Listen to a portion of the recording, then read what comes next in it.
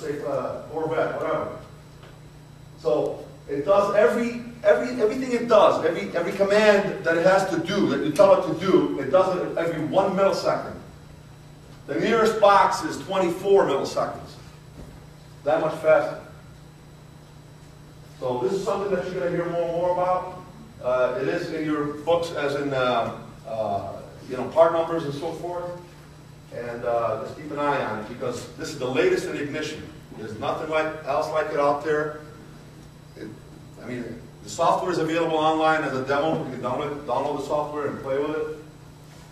For now, Dave, come on up here, please. You can talk a little bit about gaskets and. Uh,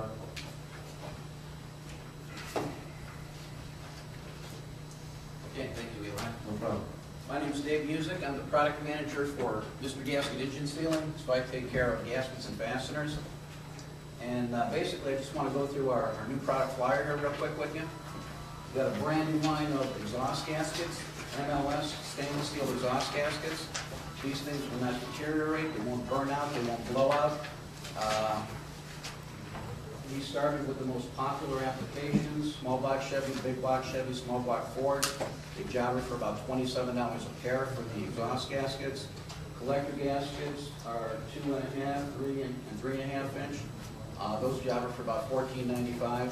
But again, being, uh, multi-layered stainless steel, won't deteriorate, won't burn out, won't blow out. If you buy one set, you probably never have to buy another set of exhaust gaskets.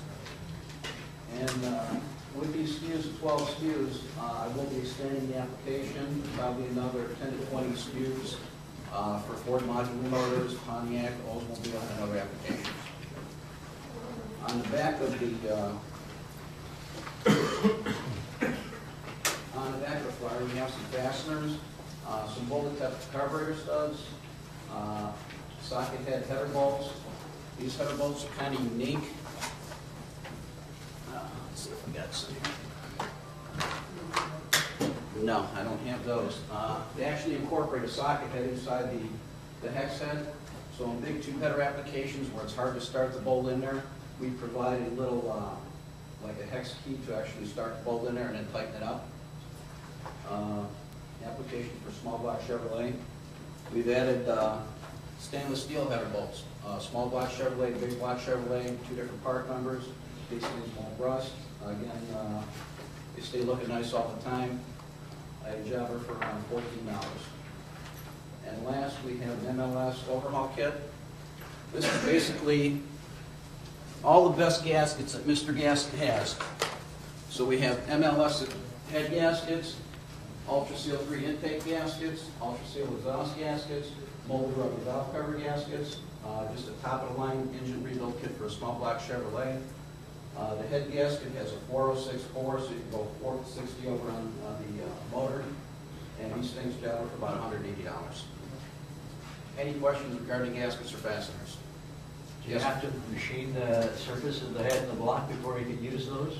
Uh, Yes, this, an MLS head gasket needs a finer RA rating, which is an average roughness rating for the deck and the head, so it should be between 30 and 50.